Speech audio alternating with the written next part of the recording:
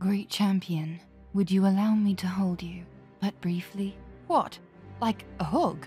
Sure, I guess. But if you try anything funny, it's dagger time. Hmm.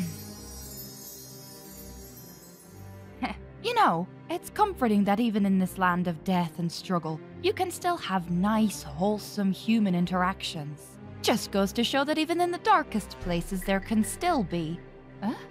Wait, what's that icon under my gauges? That wasn't there before.